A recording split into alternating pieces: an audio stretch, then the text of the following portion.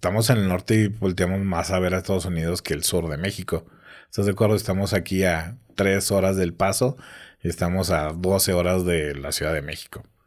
Entonces, pues es más, lógicamente la influencia pues queda más del, del lado gringo. Y sí, como que buscamos más ese confort gringo, ese lado americano que, que buscar la parte de mexicana. Pero creo que pues, no nomás es de Chihuahua, creo que es de todo el norte del país. No, o sea, lo vimos ahora en las elecciones de AMLO, cómo se veía el país dividido en dos colores. Sí. Somos dos Méxicos, yo creo. Yo digo que más. o sea, está muy, muy complicado el hecho de decidir, por ejemplo, las posturas políticas. Pero pues te preguntaba porque me había contado varias personas que está ese estigma aquí en la gente. Digo, también, pues no voy a. Generalizando, ¿no? Generalizando. Y en comidas sí, o sea, yo he visto propuestas muy buenas que estaba antes aquí en la, por la calle 24 y Mirador.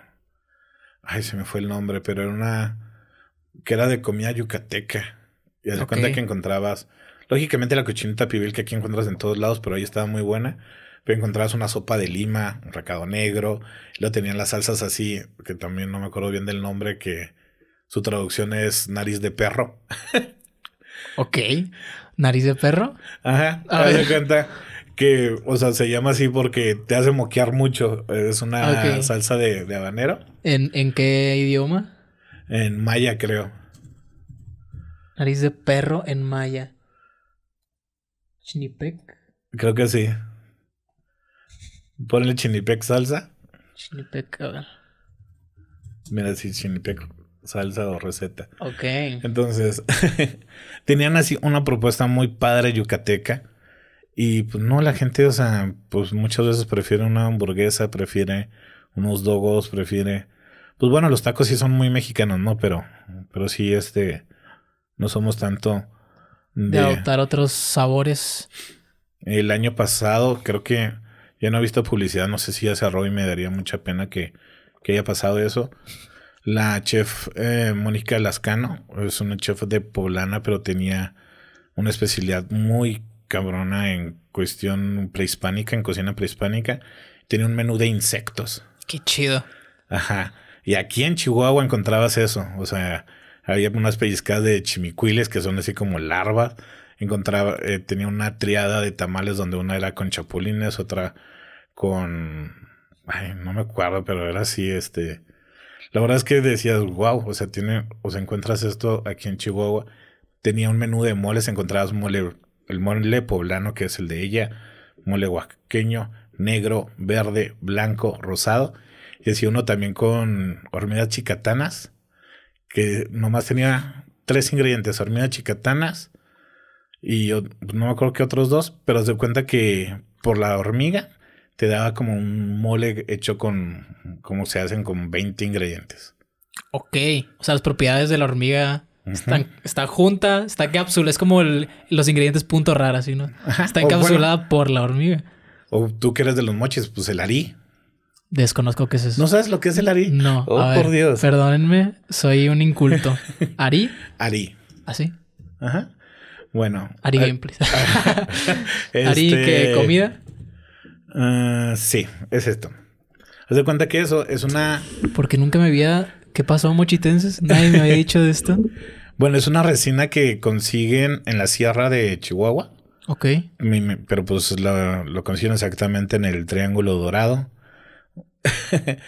y haz de cuenta que es una resina que generan unas hormigas, se comen la resina de un árbol y pues no sé si es exactamente el excremento por no.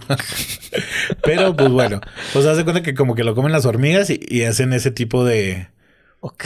De bueno, de... ¿Cómo lo llamaríamos? No sé cómo describirlo exactamente qué es. Chile piña, chile. Pero mm. haz de cuenta que es un exponenciador de sabor. O sea, necesitas. Es como el glutanato monosódico.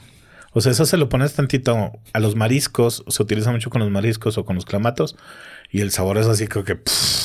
Pero ¿cómo funcionan esas cosas? Nomás lo haces polvo y se lo echas. No, sí, pero ¿cómo funciona químicamente para que exponencie un sabor, sabes? Ah, no. Pues... A ver, busquemos. Glutanato monosódico. está, está bien, bien curioso cómo, o sea, eso nos engaña a nosotros mismos, ¿sabes? Sí, o sea, claro. puede estar medio bien el sabor, pero gracias a eso tú ya le adjudicas a esos ingredientes que juntos tienen una, sabes, que son de otro, de otro mundo. Glutanato monosódico. ¿Cómo funciona? Tutorial así. Es que estás en imágenes. ¿Cómo funciona? Ah, es que estoy en imágenes, es cierto. Pero bueno, ahí estaba una, un slide. Glutanato monosódico. Eh, agronomy para los alimentos, que es el quinto básico, dulce, salado y malo, se ok, parte de la pues es que es la combinación de los cuatro básicos del sabor. Ok. Entonces, sí, como que hace una química que junta esos... Los sabores. que Homogénea, tiene- ¿no? Así. Homogénea, Ajá. Como que los activa al mismo tiempo y eso hace que sea más... Que tenga un estímulo más... ajá. Gustativas y así como que... pff, Wow. Oye, desconocía el Ari, ¿eh? No, no sé mi cultura al parecer. ¿Qué, qué, aquí en, en- en Chihuahua, qué es lo... Otra vez Ari Gameplays. Ari Comida. Aquí en Chihuahua, ¿qué es lo... lo, lo- Se utiliza mucho en mariscos. los Ari, el Ari? mariscos, en mariscos y en clamatos. Hay unos clamatos que se llaman O sea, aquí. Ajá. Ok. Y según yo todavía deben de usar Ari. No, yo te quería preguntar, o sea, ¿qué era... ¿Qué sería el Ari de aquí?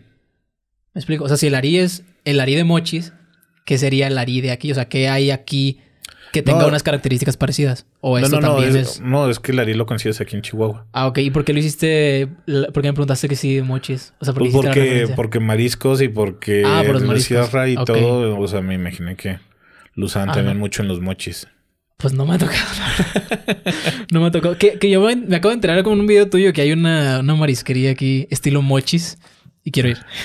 Ajá. Quiero ir porque se extraña mucho. Yo lo primero que, que empecé buscando aquí fue la salsa negra marisquera. Ok. Y no la encontraba por ningún lado. O sea, cuando vino mi mamá de, de visita le encargué un montón de salsa marisquera. Tengo como seis ahorita.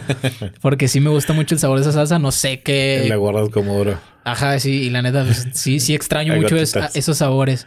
Sí, sí, sí. Y también hay, hay muchas cosas aquí, o sea, el Maviri, el, el restaurante El Maviri. Ok. O sea, no, no sé, no, no sabía que Mochis estaba tan en otros lados todavía. Para mí todavía es un ranchito, ¿sabes?